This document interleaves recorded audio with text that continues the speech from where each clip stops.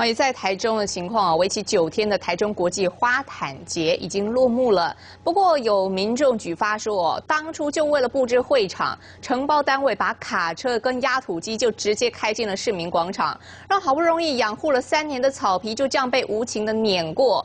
现在花毯节结束了，但是这片草皮却是一片狼藉，泥泞不堪。呵护三年的市民广场草皮，为了花毯节一系遭殃。附近民众拍到承包单位把卡车开进草皮，碾出一道道的沟痕，广场变得泥泞不堪。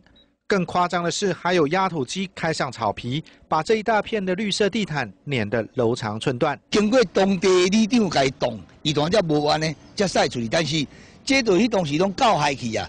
啊，当迄个群火拢扑落去了后，逐工爱压水，啊压水的时，这个水的时呢，就就拢。溢出了外口啊，所以规个土卡拢种泥泞，无在了打。倒霉的不止草皮，广场四周的行道树也被施工的卡车扯断，残枝断臂横躺在人行道上，却不见市府开罚单。